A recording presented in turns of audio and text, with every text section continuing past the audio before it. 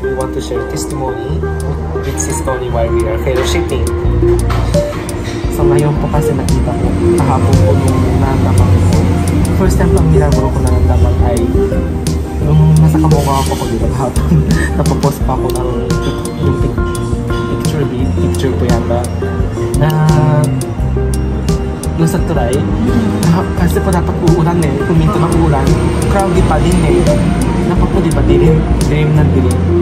Parang kahapon nakita ko yung yung biglang ilaw, yung light. Kahapon. Nakulat pa ako eh. Tapos nung na- pag nakita ko yung ilaw, nagbiglang yung verse na, na, na sinabi dun sa psalm. You are my light unto my path. Nabiglang ko nang nasa isip ko yung ako ng verse na yan. Tapos Biglang pumasok na.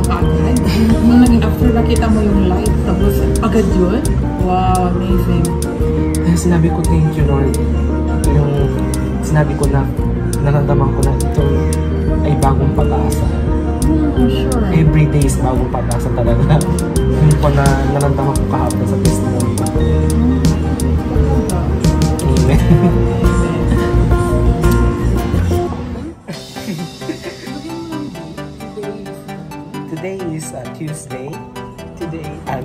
Is Wednesday. today is Tuesday.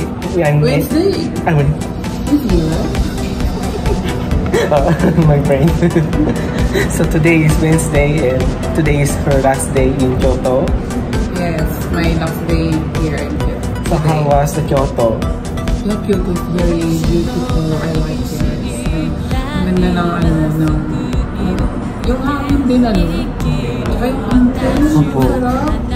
At she's sa mountain po kasi talagang malapit sa amin yung maraming bundok. Nasa pag-minsan, nasa talagang mag hiking Gusto ko talaga everyday hiking Maganda po. yung ano, makapupunta namin mula Kurama. Kurama to. Kifne. Ah, Kifne. Mm. Nandiyan ano po, sinili po sa ipahapon na galing pa ako nung ko pa alam kalimutan ko kung ilang na po. Pero I think few, few years pa yata. Yung youth, youth fellowship kami yan. Na mga Christian na Japanese. Na-join po ako sa dyan. Tapos na-pray po kami habang na-hiking po. Tapos pagdating na bundok, na-pray din po kami na sana ma malalim yung, yung, kabata namin ay tumanggap kay Lord. Parang hanggang ngayon din, tinuloy ko pa yung playwork ko.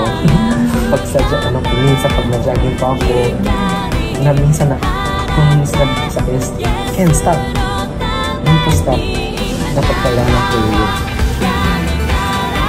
Parang pinipray ko dito ng city natin, parang nag, hindi yung idol city ng Buddhist, kundi magiging true holy city ng Lord.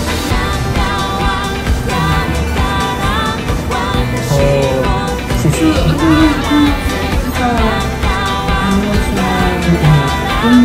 mo na nga encounter sa Lord. Ako. si Lord depressed, when yung depressed po ay naranasan ko, pero yung sa kabila, sinabi po sa akin ni Lord, be still, I'm not, I, be still, and to be still. Know that I'm your God. Kilalain niyo ako. Ako ang tag talagang totoo sa, sa buhay niyo. Kaya lagi kang ano no, dahil lalo lang sabi yun, kaya lagi kang parang grateful, always grateful kay Lord. Kasi sinabi po dyan sa atin, pag nakilala yung isang Kristiyano, be nice to others. Kasi si Lord ang napaka-humble eh. Oo nga, ano. Talagang kaya niyo po sinabi niyo, kahit na may, dapat may planta tayo, o dapat din naman tayong gratitude na iwas din sa magulo, magugulo. So actually, parang sinabi ni Lord din, na pamaraman yung good people bad people. Kasi kailangan niya po nalaman po. Pero ano ah, yung bad people, hindi, hindi naman natin, hindi na iwasan mo siya. Opo. Hindi, iwasan mo yung ginagawa nila, hindi yung baptist nila. Para sabi, para merong guide siya. Ibig sabihin mo tungkol kay Lord. Pero yung bad na ginagawa huwag mo. Hindi totoo po yun. Ang yun yun ang sabi ko lang sa hindi yung tao.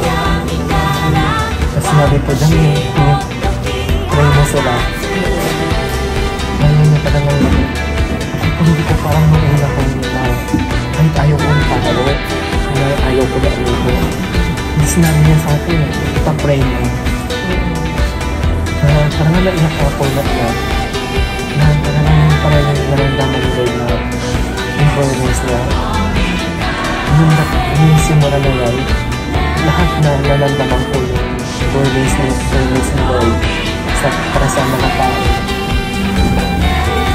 Parang yung parang sinabi nila yung Lord ko. Humble. Ano po eh, talagang sinabi ko sa Bible yung sa Saris ng lahat ng mga. You are, you are the light unto my path. Yun po, si Jesus ang light. Tapos yung, yung path ay, yung way namin, dapat sinabi ni Lord, if you go straight, you will, you will in my light path. because God is light. Saka sa worship na attitude din sinabi ko dyan eh, worship Him spirit and in truth. Yes. John 4.24 Ako, Ako din ganyan eh.